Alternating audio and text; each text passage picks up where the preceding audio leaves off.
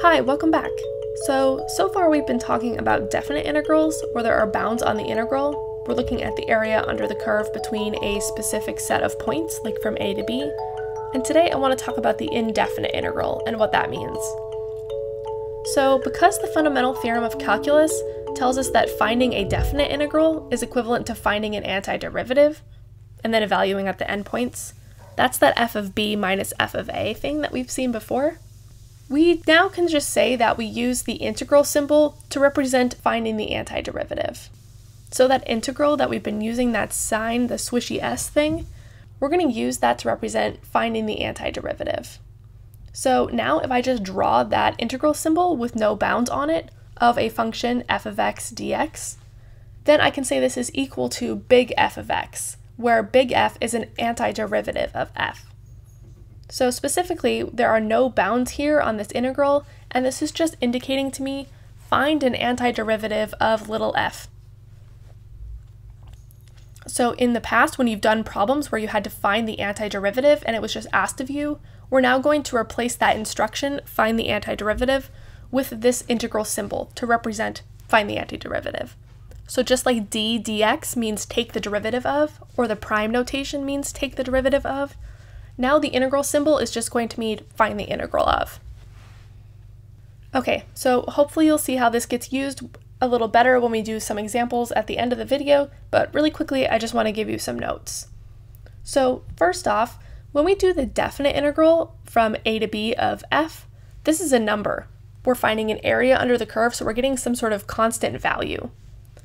But when we use the indefinite integral of f of x, we're getting a function because we're getting an antiderivative. And that antiderivative, the values are going to change depending on x in lots of cases. So when we do the indefinite integral and we find the antiderivative, we want to use the plus c at the end to represent any antiderivative, so to represent the general case. So just remember if there are no bounds, you should have a function and you should use a plus c at the end. Okay, let's try some examples. Okay, so let's do an example of an indefinite integral, and I'm going to compare it to a definite integral just to show you the difference between indefinite and definite and what your answers will look like. So let's evaluate the integral of x dx, and we'll evaluate the definite integral from 2 to 5 of x dx. So for the indefinite integral, we're just looking for an antiderivative.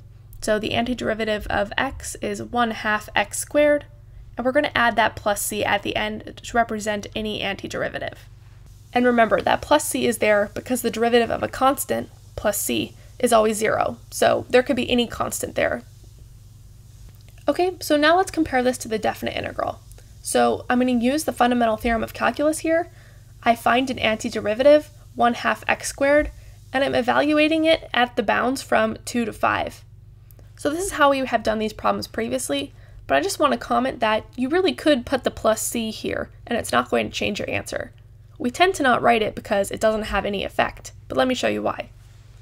So if we put a plus c in and then we evaluate the bounds, I'm putting in 5 for x, 1 half 5 squared plus c, and I'm subtracting what happens when I put in 2 for x, 1 half 2 squared plus c. So I'm getting 25 over 2 plus c minus the whole quantity 4 over 2 plus c. When I distribute and simplify this, my c's are going to cancel, so really that plus c was unnecessary. It's not needed for definite integrals because it cancels out. Then, putting the remainder of my terms together, I'm getting 21 over 2 as my definite integral. So, just to highlight, we get a number for the definite integral, and we get a function with a plus c for the indefinite integral. All right, so with antiderivatives and using the integral sign to represent them, I want to just remind you of some antiderivative rules, this time written with the indefinite integral, or with the integral symbol. So we can say the integral of x to the n dx is equal to 1 over n plus 1 times x to the n plus 1, and then we have our plus c. So here, this works because of power rule, the n plus 1 comes down in front when we take its derivative. We decrease the exponent by 1, and I'm getting 1 times x to the n, since those n plus 1s would cancel. But hopefully you can see how these are related here. Then, if we are taking the integral of a dx, where a is just some constant, I'm going to get a times x plus c. So here we just add that x in. That's because the derivative of a times x is just a. All right, then we can do the integral of e to the x dx. This is just e to the x. And I forgot my plus c there. There should be a plus c there. Even the best of us forget our plus c's. Try not to forget it as often as you can. I forget sometimes too. So this is because the derivative of e to the x is just e to the x. So the same thing works for the antiderivative. Antiderivative of e to the x is just e to the x plus c. Okay, then we can do the integral of 1 over x dx. This is the natural log of absolute value of x plus c. Putting that absolute value there is like the technically mathematically correct thing to do, but we often don't write it, so don't worry about that too much. But this is because the derivative of natural log is 1 over x. Then we can do some trig functions. So the integral of cosine is just sine plus c. The integral of negative sine is cosine plus c. That's because the derivative of cosine is negative sine. Then the integral of secant squared is tangent. So these are just rules for our sine, cosine, and tangent derivatives, but now written as antiderivatives. Okay, so that's just some of our more simple antiderivative rules. We're going to learn a lot of ways to solve integral problems, but these are just our basic ones that come from our basic rules for derivatives. Okay, and to wrap up this video, I just want to review some integral vocabulary. So if we have the integral of f of x dx, the f of x, or whatever in that position, is the integrand. This is just the function that's being integrated.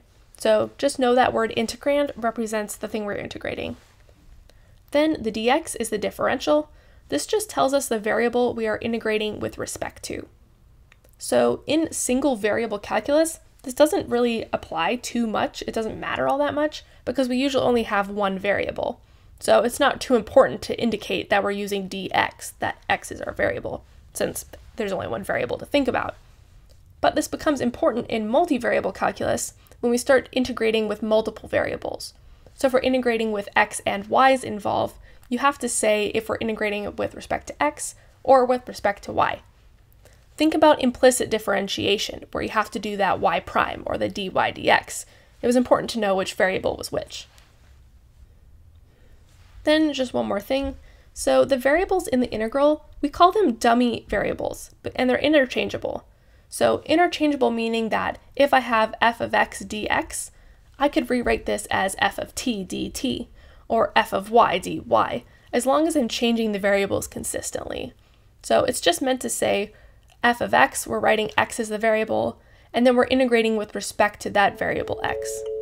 So just know that you might see problems with different variables, and that doesn't really change the process. We're just using different variables to shake things up sometimes.